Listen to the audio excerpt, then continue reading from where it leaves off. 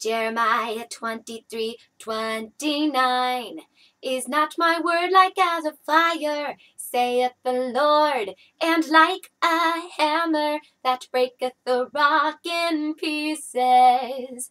Is not my word like as a fire, saith the Lord, and like a hammer that breaketh the rock in pieces?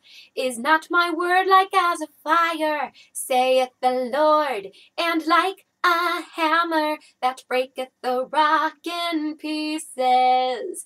Is not my word like as a fire, saith the Lord, and like a hammer that breaketh the rock in pieces. Is not my word like as a fire, saith the Lord, and like a hammer that breaketh the rock in pieces.